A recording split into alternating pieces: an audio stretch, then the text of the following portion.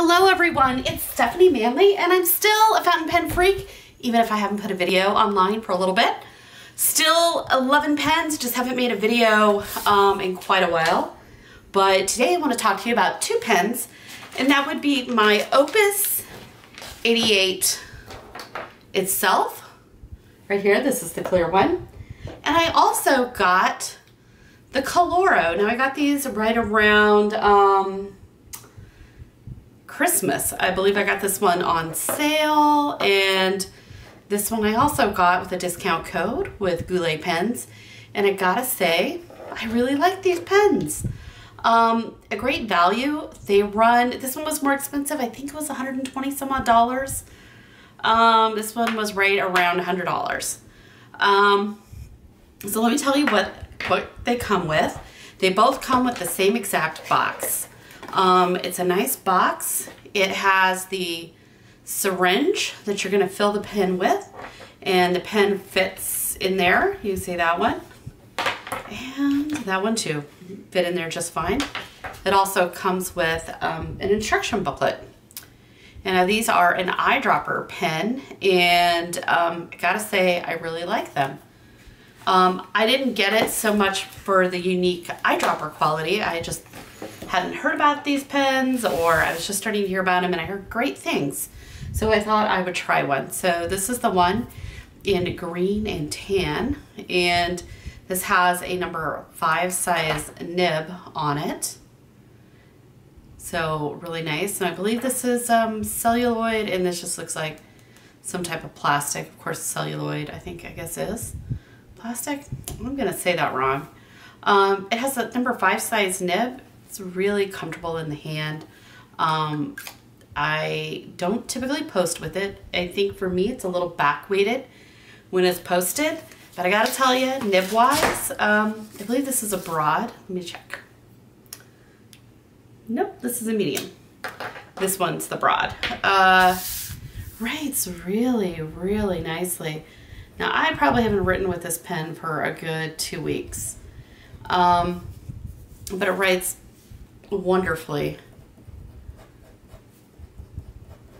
If I had to compare this to a nib, I would compare it to a Pilot nib. Not quite as buttery smooth, but pretty close. Um, really, again, really nice. I can't say anything bad about this. Um, they come in snazzy colors. This is just the one I chose. I will say right at first I thought, oh, my pen's not working.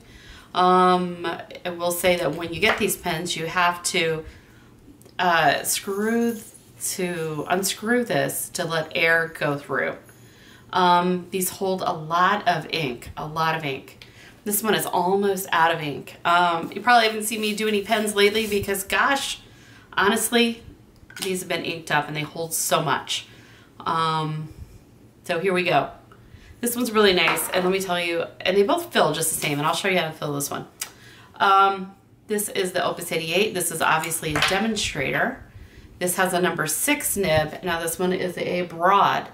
Um, and I'll fill it in just a second. It's gonna take um, a second or two for everything to go through. So I'm gonna fill it with the green. St. Patrick's Day is coming up soon. This is a sample that I got from my ink journal box that I haven't been putting online lately. And it's a Kyoto tag, Kyono Oto. So um, ink. It's green, that hey, why not? St. Patrick's Day. This is, I believe, a two mils sample. And um, I'll tell you what, this actually takes about three mils. So um, I know Goulet pen samples, or ink samples are very generous. Um, and uh, you can fill the whole thing in there. So I'm just going to dip this just to get it wet. Now I'm going to show you how it writes here. Now this one writes, oh, that is not green. How about that? That looked very green to me. Huh. How interesting. I did that or have a dirty nib, one of the two. Let's try that again. I swore this looked very green. Ah, I did have a little brown ink on it last. Okay. Buttery smooth. it writes, it uses up a lot of ink. Um, this one for a broad nib is a little bit of a gusher, so I kind of like that. Okay, to fill, you're gonna unscrew it from here. And I think you can see right here is where you fill it.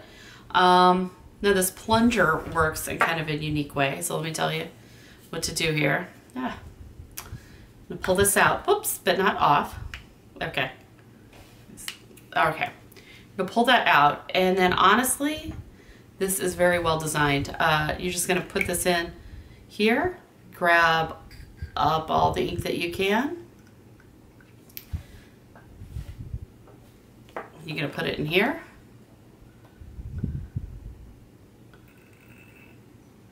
You can see that was a two mil sample.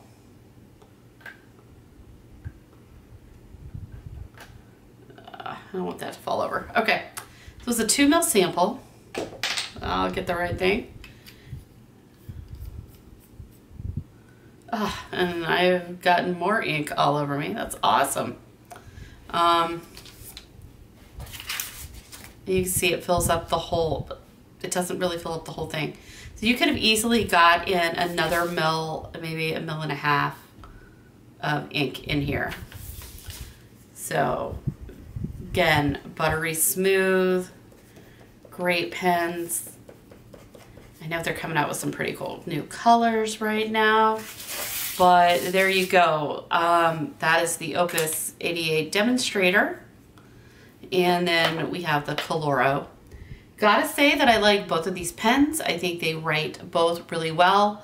Um, I did buy both of these online because I didn't think Dromgoole's, my local pen shop, had any, or they didn't have any the last time I was in. I will say that. Um, but now they do carry them, so they carry them there as well. But both really great pens, great writers. My only comment about this is if you have a smaller hand, um, I do get a little bit of fatigue from this just because it's so big. It's gigantic uh, to hold right around here. Whereas I find for me personally, um, this one is a lot more comfortable. So if you're a guy or someone else with big hands, um, this may work well for you. I will say that once you fill this thing up with almost three, three and a half mils of ink, you don't need to refill it for a good while. Um, and that's with a broad nib.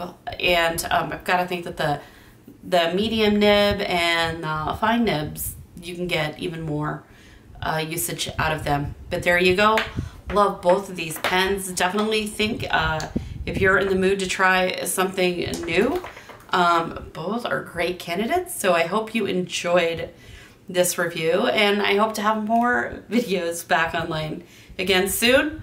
But uh, hey, let me know what new pen discoveries you've had recently. I'd love to hear. And again, thanks so much for watching and we'll chat soon. Bye-bye.